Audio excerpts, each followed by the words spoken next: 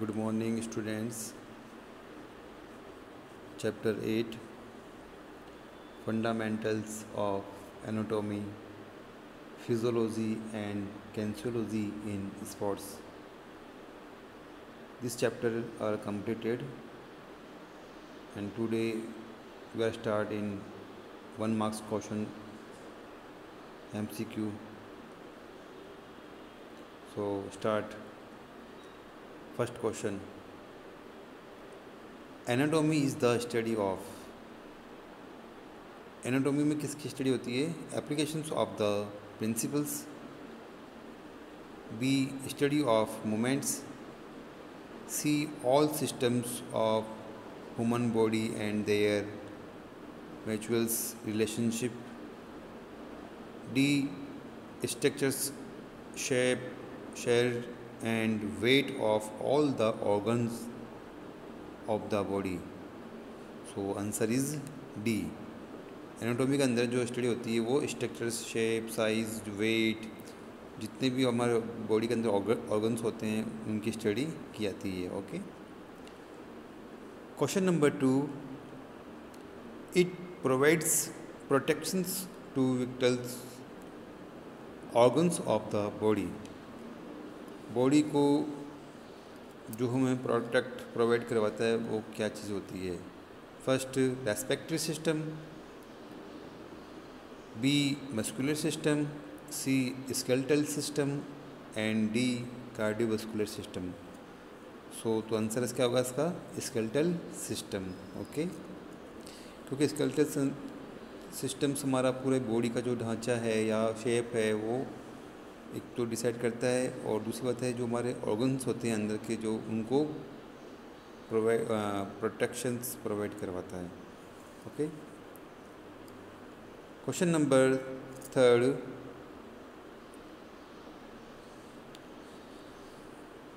sesamoid bones are found in sesamoid जो bones होती है, वो किस जगह पे होती है? शोल्डर में या पेटेला या रिस्ट या थाई तो उसका जो आंसर होगा वो होगा रिस्ट ये कलाई के अंदर जो है बॉन्स ये होती है okay fourth question this joints facilities turning made by made and twisting movements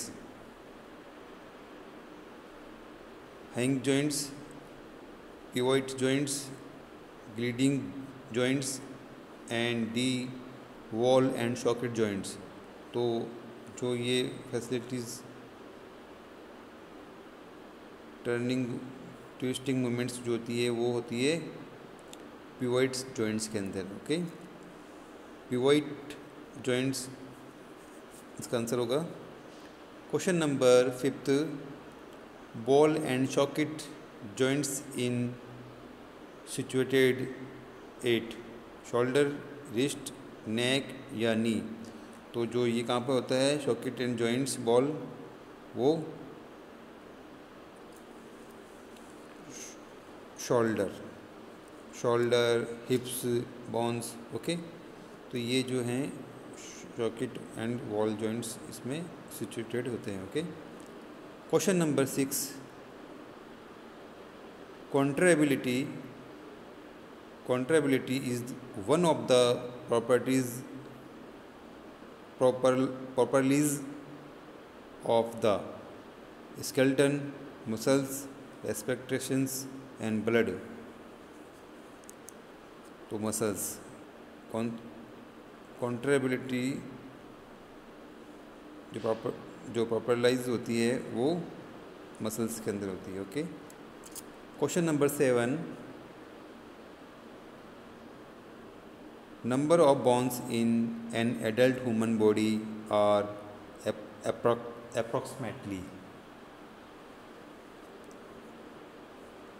215, 210, 218 या 206 तो 206 यानी 206 जो है बोन्स जो एडल्ट के अंदर ह्यूमन बॉडी के अंदर पाई जाती है okay question number eight Alveoli are situated in the bone marrow heart lungs या वॉल्टरी मसल्स तो ये जो होगा, इसका आंसर जो होगा, वो होगा लंग्स लंग्स में जो है एलिवरली जो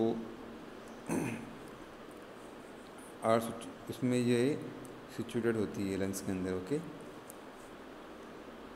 it is the volume of blood pump out the out by heart in one beat socket volume या tidal volume cardio out cardiac output या ऑर्गन डिप्ट तो इसका आंसर होगा स्ट्रोक वॉल्यूम स्ट्रोक वॉल्यूम जो है ब्लड को पंप कराने में हार्ट को, ये हार्ट बीट करने में उसकी जो है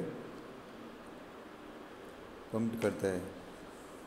स्ट्रोक वॉल्यूम कहलाता है okay stroke volume into heart rate equal to cardiac output okay क्योंकि जो इसका जो है स्टॉक वॉल्यूम जो है, इसका जो फॉर्मूला है, वो stock volume into heart rate equal to cardiac output cardiac output का आंसर होगा नेक्स्ट बात करते हैं क्वेश्चन नंबर इलेवन की।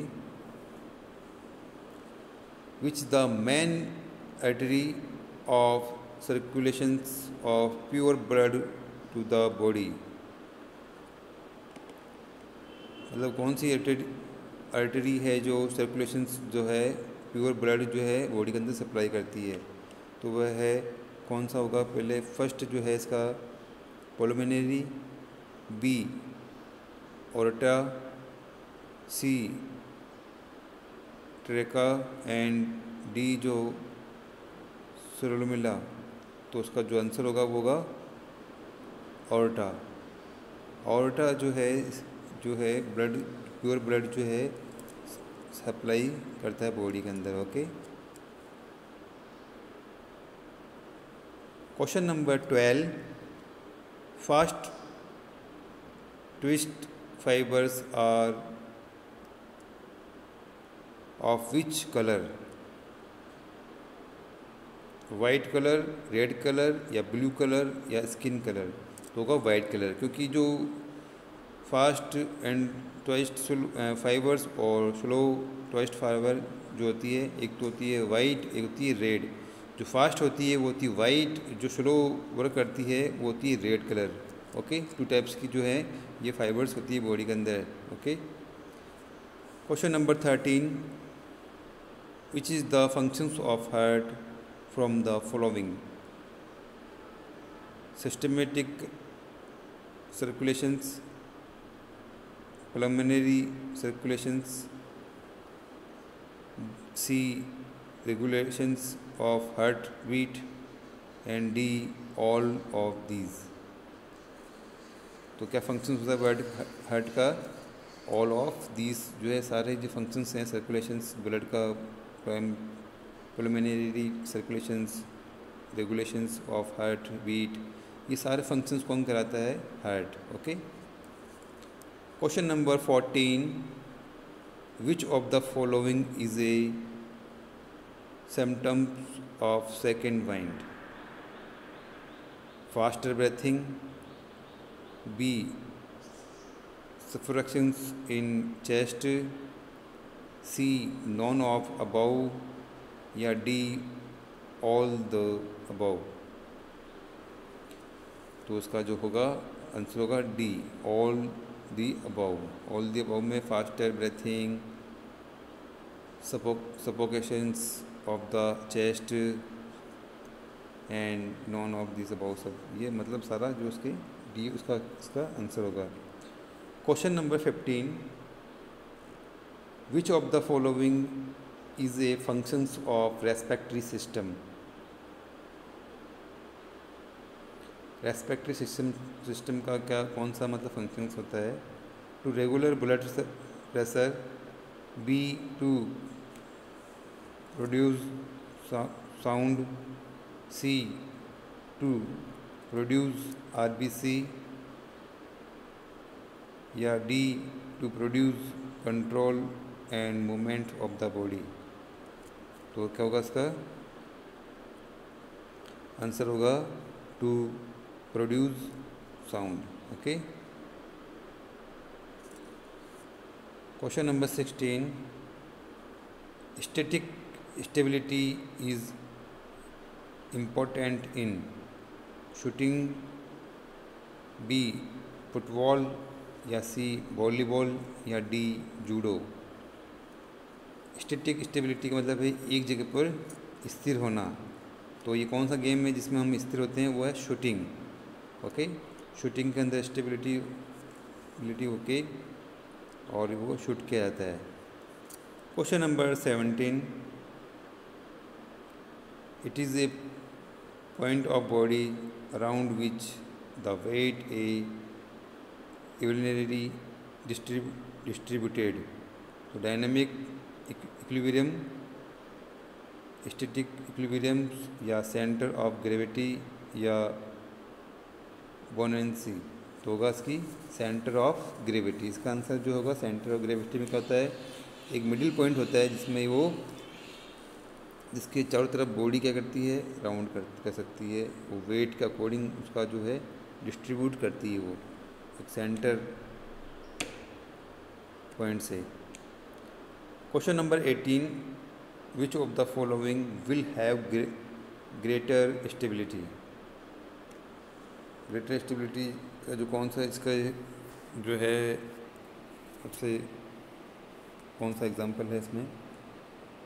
स्कीपिंग पोजीशन या B standing start of fifteen hundred metre race या सी स्टेंस ऑफ़ गोल्फेयर या ट्रैकिंग इन फुटबॉल। तो उसका आंसर होगा C stance of a golfer. Okay? तो ये जो एटीन जो है एम सी क्यू उसके हमने किए हैं सारे, इसके अलावा जो भी क्वेश्चन बनते हैं थ्री मार्क्स फाइव मार्क्स वो आपको करने हैं बुक से। मैंने सारे कंटेंट क्लियर करवा दिए हैं। नेक्स्ट वीडियो में हम चैप्टर नाइन्थ की स्टडी करेंगे, उसके बारे में समझेंगे। ओके आज के लिए इतना ही।